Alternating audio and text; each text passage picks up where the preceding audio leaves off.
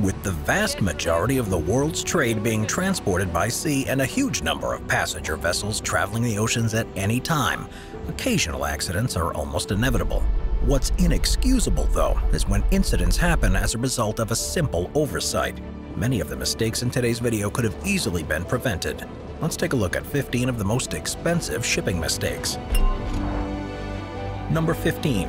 The Ever Given the Suez Canal is one of the most important shipping routes in the world, connecting the Mediterranean with the Red Sea. It allows vessels to avoid having to sail all the way around Africa and significantly shortens travel times.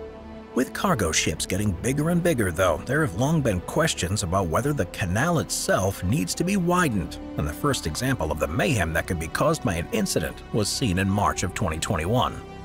The Ever Given, a 1,300-foot or almost 400-meter-long container ship that's operated by Evergreen, was being piloted through the canal when a strong gust of wind caused it to become wedged across the entire width of the waterway, blocking all traffic. Within five days, 369 ships had joined a queue to pass, which represented more than $9.6 billion worth of trade, and the cost kept escalating. It took six days to finally refloat the ship and take it to an inspection yard, where it was impounded, and it was then only released back to the company after a fine was paid, something that's believed to have been in the billions of dollars. The knock-on effect for the world's economy was probably the most expensive part of this mistake, though, and it was blamed for increasing shipping costs and times, which led to higher costs for goods, particularly across Europe at a time when the economies were already suffering because of the COVID pandemic.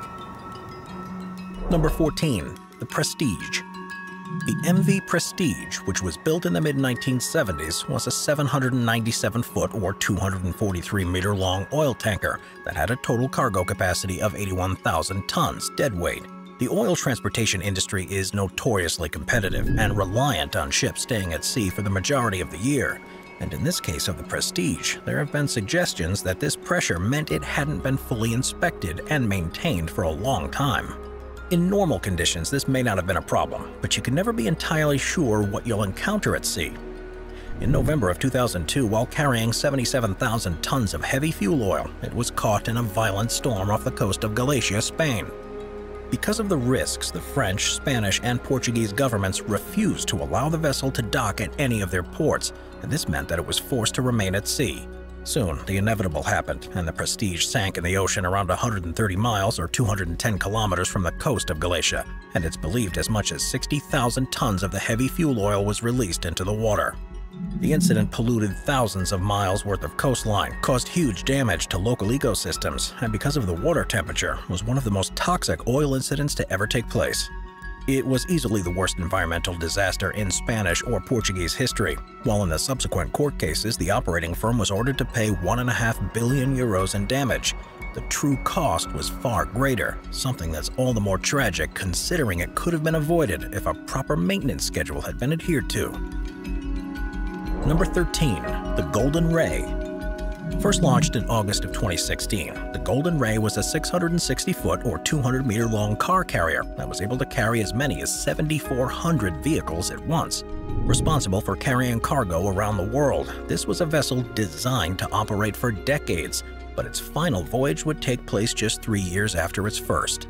In September of 2019, shortly after unberthing from the harbor at the port of Brunswick in Georgia, it began to list in the water, it soon transpired that the cargo had been loaded onto the ship incorrectly, which led to it weighing significantly more on one side than the other. And before there was anything anyone could do, it had capsized. Luckily, all of the crew were rescued, but the ship and what it was carrying was a complete write-off. At the time, she was carrying a reported 4,300 cars, made up of a number of Kia and Hyundai models that had just been produced in Mexico, as well as Chevrolet, GMC, Mercedes-Benz, and Ram ones too. Also, with nearly 24 full fuel tanks, there were concerns of an environmental disaster, but this was luckily averted after the toxic liquids were removed. A final assessment estimated that the cost of the incident may have been in the region to 80 to 100 million dollars, not including the cost of the salvage and removal of the wreck to allow the port to reopen. Number 12. The Sea Grand Often carrying hundreds of thousands or millions of dollars worth of cargo, ship owners and operators have to have the utmost faith and confidence in their crews to ensure the goods are safely delivered on time. Making a mistake with your hiring, though, can be catastrophic, and one of the most calamitous examples of this took place in early 2019. The 370-foot or 113-meter Sea Grand had been in port at Busan, South Korea, to pick up 3 million pounds of steel coils and set off for Vladivostok in Russia. The route it should have taken was north along the coast before turning into the Sea of Japan, but instead went into a small bay and headed directly towards the double-decker Gwangan Bridge. The vessel smashed into it despite receiving radio messages to warn them of what was happening, and it created a huge hole in the underside of the bridge, as well as severely damaging the ship. What wasn't captured on the footage was that, following this, the Sea Grand turned around and sped off, and it was only when they were chased by the Coast Guard that the captain was taken into custody. He was found to be more than twice the legal alcohol limit at the time, which may go some way to explaining how any of this was possible. Number 11. The Ulysses and CSL Virginia You'd think that as you were steering a large vessel on the ocean, it wouldn't be too difficult to spot any other large ships in the region, but all it takes is a momentary lapse of concentration for things to go terribly wrong.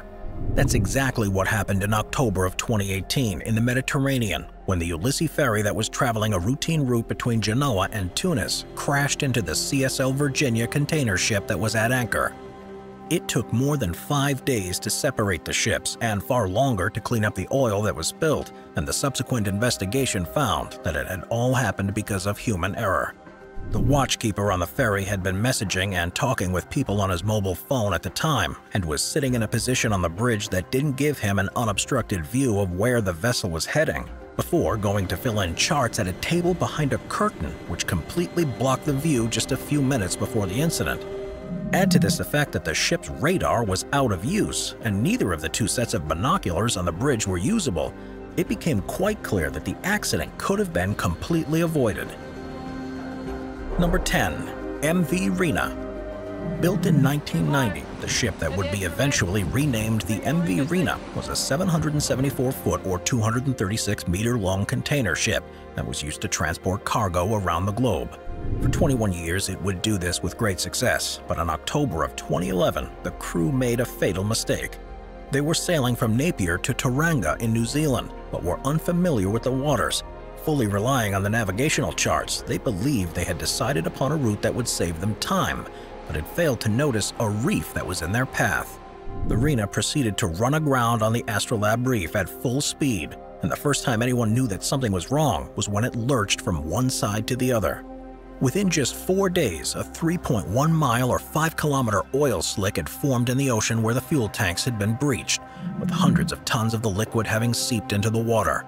Containers also fell into the sea, some of which held hazardous materials, and within a few weeks the vessel had completely split in two. The incident was described as the worst maritime environmental disaster in New Zealand's history, and still to this day, damage can be seen and is regularly assessed to understand the long-term impact. Number 9. The Explorer of the Seas The Explorer of the Seas is a more than 3,000 capacity cruise ship operated by Royal Caribbean International, and while it's still in operation today, it suffered a number of incidents that led to severe reputational damage for the company. The 1,020-foot or 311-meter-long vessel first set sail in 2000 and held the record for being the world's largest passenger ship for two years. Trouble first began for the Explorer of the Seas in September of 2012, when strong winds in a port in Bermuda pushed her into another cruise ship, and while neither ship was significantly damaged, this was just a sign of things to come. In January of 2014, due to improper food management and poor hygiene on board, 281 passengers and 21 crew members started reporting symptoms of vomiting and diarrhea. It was confirmed that there had been a norovirus outbreak on board, by the time the cruise was canceled, almost 700 people had been infected. You could almost write that off as an unprecedented incident, and while the company claimed the whole ship had been thoroughly cleaned and measures introduced to prevent it from happening again, there was a significant outbreak of infectious diarrhea just the following year. On that occasion, 182 passengers fell ill, and on the same voyage, the ship was struck by a freak wave that caused further injuries meaning the vessel had earned itself the unfortunate reputation of being a serious health risk. Number 8. The Titanic Whenever a new ship is built, the designers use the latest technology and designs to make it the very best they possibly can. But there's perhaps no better example of overconfidence than the story of the Titanic.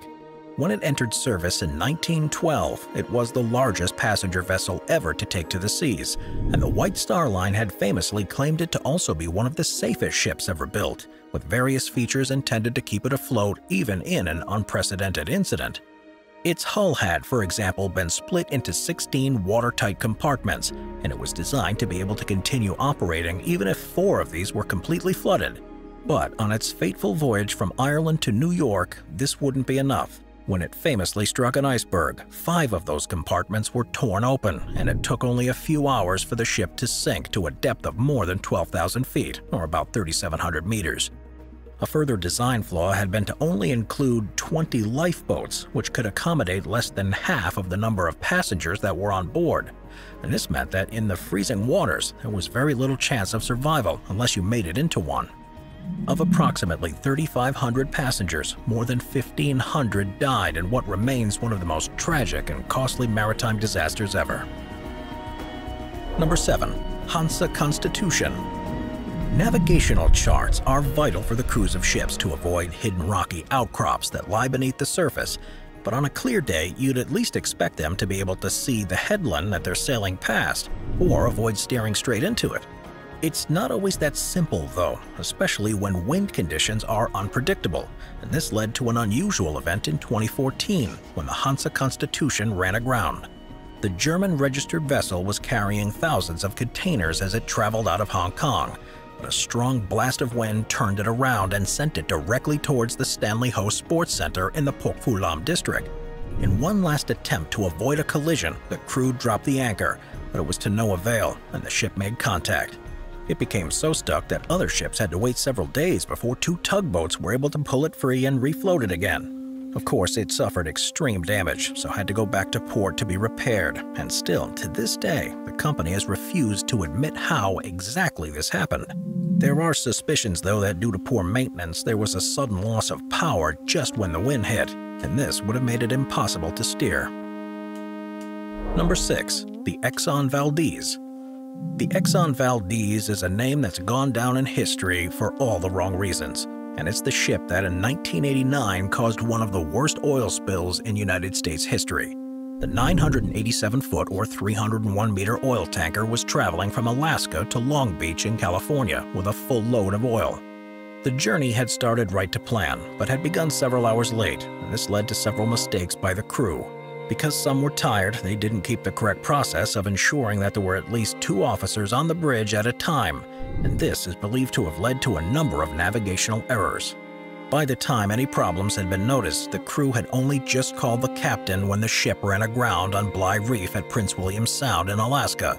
And over the course of the next few days, more than 10.8 million gallons of crude oil was released into the water. As it happened in such a remote place, the cleanup was an immensely difficult task. It's also a vital habitat for animals such as salmon, otters, seals, and birds, all of which were majorly impacted by the spill. And in total, it's thought to have negatively affected more than 1,300 miles or 2,100 kilometers of coastline, where the effects can still be seen to this day. Exxon was forced to pay half a billion dollars in punitive damages, along with $2 billion for the cleanup and a further billion in civil and criminal cases, making it not only an environmental disaster, but a financial one too. Number 5. The Hyundai Fortune First setting sail in 1996, the Hyundai Fortune was a 900-foot or 274-meter-long container vessel that was capable of carrying up to 5,500 20-foot equivalent units. For 10 years, it successfully carried out voyages around the world, but during this time, the crews working on it were changed a lot, and many weren't familiar with the safety requirements needed to operate it effectively. This came to a head in March of 2006 when, due to poor loading, there was an explosion of hazardous material from somewhere below deck that caused around 80 containers to fall into the water and a huge fire to break out through the stern of the ship. At the time, it was in the Gulf of Aden to the south of Yemen, and after picking up cargo in China and Singapore and heading towards the Suez Canal. Its position meant that it was relatively tricky for rescue crews to reach, so after they were unable to contain the fire, the crew were forced to abandon ship and wait for help to arrive. It was two days until firefighting tugs got to the vessel, and by that time it was listing and severely damaged. Amazingly, they were able to extinguish the fire and tow the ship to port so it could be repaired. There was still an estimated $800 million worth of damage, though, which could have been entirely avoided, according to an investigator, had a container full of flammable material not been stored next to the engine room. Number 4. Carnival Cruise Triumph the Carnival Triumph, which has now been renamed the Carnival Sunrise to detach itself from its troubled past, is an 893-foot or 272-meter long liner operated by Carnival Cruises. Its maiden voyage was in 1999, and it has a capacity of up to 3,000 passengers, and it was the first of the Triumph class of vessels. It's thought that the company prioritized money-making cruises rather than ensuring the systems were well maintained and up to date, and this led to a rather unfortunate incident in 2013 that saw it being nicknamed the Poop Cruise. Early one morning in February, a fire started in the aft engine room. Automatic extinguishers dealt with it as they were supposed to, but it resulted in a loss of power and propulsion. An unexpected consequence of this, though, was that the wastewater systems failed, and this caused raw sewage to back up into the passenger areas, posing a significant health hazard. As there was a lack of power, the ship was adrift and had to be towed back to port. What makes this surprising was that it was the fourth time that a Triumph-class ship had experienced an engine fire and a power failure like this, while the others didn't have that same issue in the aftermath it was potentially a problem that the company was more than aware of. The company was found to be blamed for it and urgently refitted similar vessels to ensure it wouldn't happen again. Number 3. The Stellar Banner The Stellar Banner was a Marshall Islands registered container ship that mainly traveled a route between South America and China carrying iron ore having left port in Brazil on its way to China in February of 2020, and with 295,000 metric tons of iron on board, it hit the seabed and the crew dropped anchor to assess the situation and control the flooding. Within a few hours, it was clear that there was little they could do to fix the damage, and the decision was made to intentionally ground it. Over the following weeks, most of the cargo was carefully removed at vast cost so it could be refloated, and then it was decided that it was too severely damaged to fix, so it was scuttled around 60 miles off the coast of Brazil, with all its remaining cargo still on board. This would seem like an innocent incident that had happened, had it not been for the information that was uncovered in the ensuing investigation. The master had decided to deviate from the planned route without having all the necessary hydrographic information at hand, and had steered into shallow waters that no other vessel would have ever tried to navigate. Number 2. The MOL Comfort Launched in 2008, the MOL Comfort was a 1,036-foot or 316-meter-long container ship that was one of 12 that were built with the same design. With a capacity of 8,100 20-foot equivalent units, it was a huge and heavy vessel, and this meant that when it encountered difficulties in June of 2013, there was very little anyone could do about it. The vessel was around 230 miles or 370 kilometers off the coast of Yemen on a route between Singapore and Saudi Arabia when a crack developed in the midship during a violent storm. It had soon split into two, and while both sections remained afloat at first, one of them sank and the other burst into flames and destroyed all of the cargo on board. In total, it's believed to have cost around $400 million in damage, and it's lucky there were no environmental consequences of the incident either. As for the cause, it was because the weakest point of the ship, the hatch side coamings, hadn't been built tough enough to endure extreme conditions, and this was the first time any ships of its type had been subjected to such loads. The others were quickly taken out of operation, so upgrades could be performed before they were rated to sail once more. Number 1. Costa Concordia the Costa Concordia was the biggest passenger vessel disaster in recent times and resulted in the death of 34 people. The cruise ship, which was 952 feet or 290 meters long, had a capacity of almost 4,000 people and regularly sailed routes through the Med. In January of 2012, however, the vessel struck an underwater rock, and this caused it to capsize and sink in shallow waters off the coast of Tuscany in Italy. Most people were rescued, and after several years the ship was salvaged, but the entire incident was the result of a catalog of errors by the ship's captain.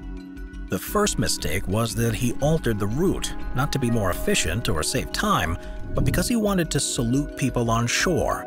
This was apparently a common thing to do, but by taking the Concordia into less known and shallower waters, it was asking for trouble. The other thing the captain did was he left the ship while there were still hundreds of passengers on board, which hampered the rescue operation. By the end of it, the operating company is believed to have spent more than $2 billion on compensation, cleanup, and legal fees, which is more than triple the $612 million it cost to build the ship in the first place. Watch our binge watching playlist if you'd like to watch all of our most popular top 15 videos. Grab a drink, grab a snack, and get ready to binge.